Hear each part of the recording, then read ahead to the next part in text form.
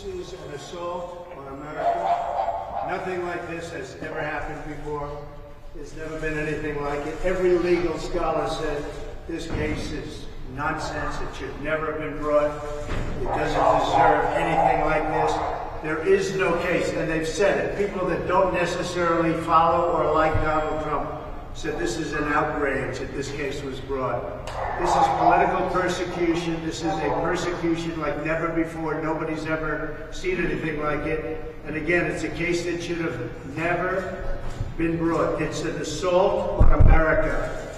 And that's why I'm very proud to be here. This is an assault on our country. And it's a country that's failing. It's a country that's run by an incompetent man who's very much involved in this case.